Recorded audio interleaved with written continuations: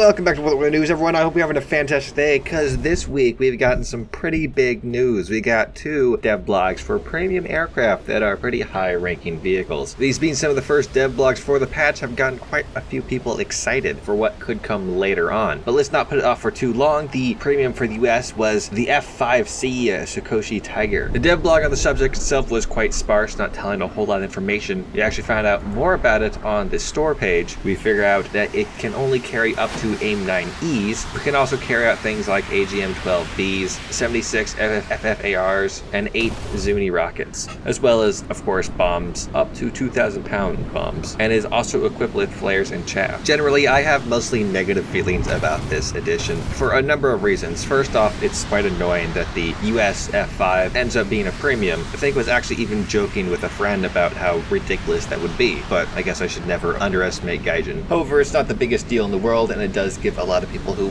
definitely want the F5, who haven't granted any other US jets because they have less interest in them, access to the F5. But the really annoying part is the price tag, $59.99. If you are in any way interested in simulator battles, I suggest you don't buy this and you actually go and purchase the $59.99 F5E module for DCS, because DCS is a 100% better simulation experience. Not only is the model higher detail, not only do you not have to pay a repair cost when you get shot down, not only do you have to not pay for missiles when you shoot them, not only can you customize loadouts as much as you wish, not only are there a lot more camos that are free and no pre-order required, but the cockpit is fully modeled. You can flip all the switches and press all the buttons. In the terms of simulation, there is no solid reason why you shouldn't just start playing DCS and buy the F5E there. It's the same price for the better product. That's the joke of my last video, why I made a video covering the DCS F5, because you might as well just go buy that one. It's quite honestly ridiculous the guys would price one of their vehicles at the same price that DCS sells theirs. I guess actually, if anything, it kind of legitimizes DCS's prices for single vehicles. Now, the thing is that all those arguments kind of fall off when you say that you don't want to play a simulator. DCS is only a simulator and quite a hardcore one at that. So if you want to play the F5, it's either grind out the Chinese tree, which I know you didn't actually do, or fork over enough money to buy yourself a brand new game, or 20 pounds of gummy worms, or the entire series of Friends, or